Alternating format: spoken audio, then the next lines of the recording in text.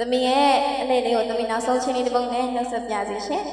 အားလုံးလည်းဒီလိုပြပပပလေးဖြစ်တော့သမီးကလက်ပန်းစဆွေချင်းလေးဖြောပြီးပြီးနှုတ်ဆက်ချင်ပါတယ်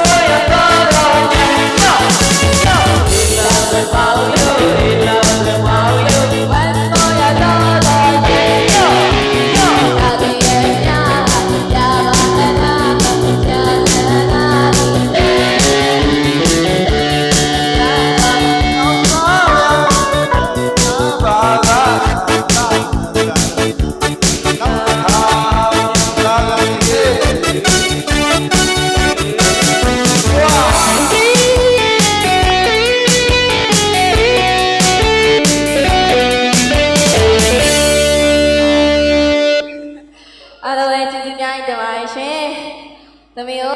အားပေးကြတဲ့အတွက်ကျေးဇူးများတင်ပါတယ်။စုရုံငွေများချစ်မိကြတဲ့အတွက်လည်းကျေးဇူးတင်ပါတယ်ရှင်။အာအလူတကာလုံးမရတဲ့အရင်အတန်ကောင်းတယ်နော်။အဲ့တော့သမီးဒီနေ့ညမှာအပြီးတော့အားပေးကြတဲ့ကျေးဇူးတင်ပါတယ်။သမီးမနက်မှလည်းဖြော်ပြမှဖြစ်တဲ့ကြောင့်မို့လည်းရောက်ပြီးတော့အားပေးကြပါမယ်ရှင်။